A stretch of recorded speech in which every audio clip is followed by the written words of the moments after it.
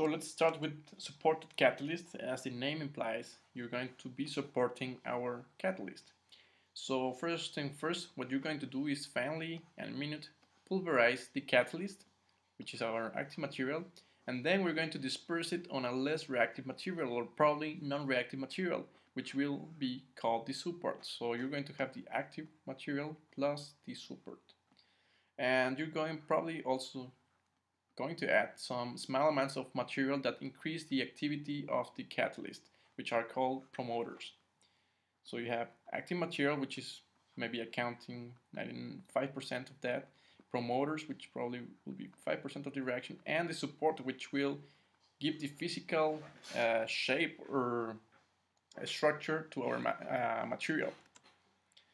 So let's see this carbon support platinum catalyst. The actual catalyst is platinum, but we're going to support it on carbon in order to get this here.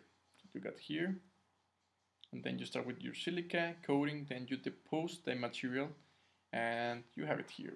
Perfect. Then you're going to treat it with heat, and once you heat it, you're going to see how these go inside, how the red dots, which is the cobalt, go here and you're going to remove this silica and that's essentially everything guys. Look how this right here out goes away. And that will be your support the carbon right here. So here's the carbon. It's all the time being support the platinum and the cobalt material catalyst. So that's awesome. You don't even have to wash it.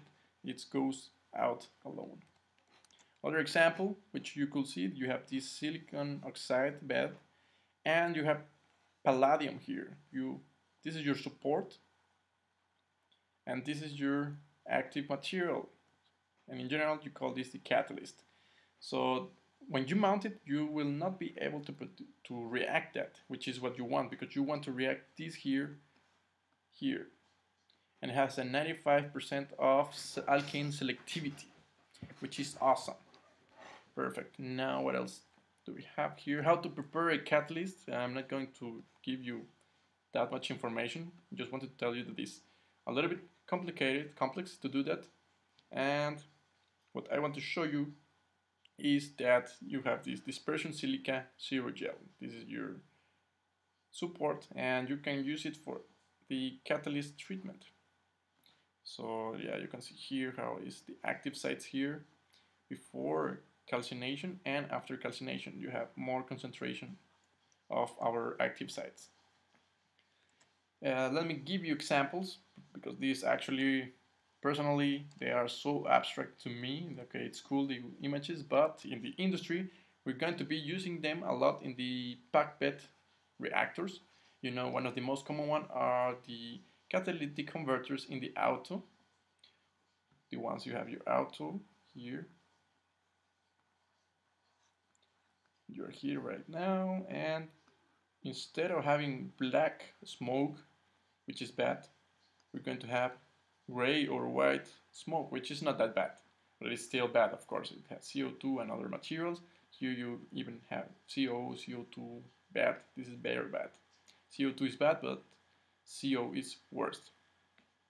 Now we also have the platinum aluminum for petroleum reformation so the aluminum is essentially this material which does not react, but the platinum does react.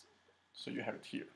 And the vanadium pentoxide on silica, which silica is essentially, once again, this here. You're going to place your vanadium pentoxide here. And once again, this is a supporter.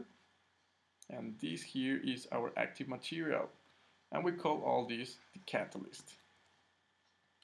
And that's essentially on supported catalyst. We're going to see the next video, the concept of the activation.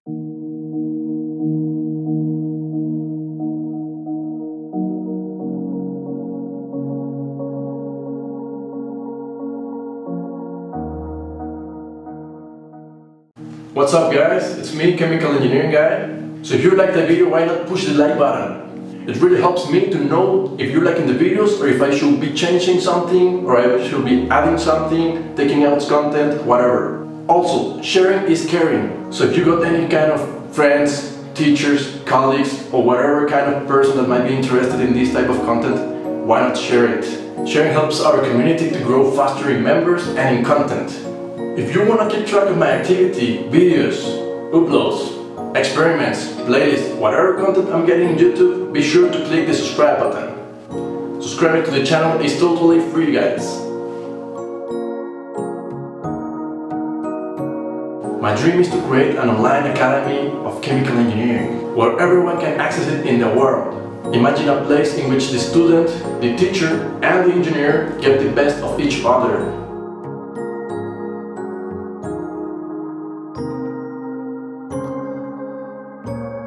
Thank you, thank you, thank you guys for the support and the love.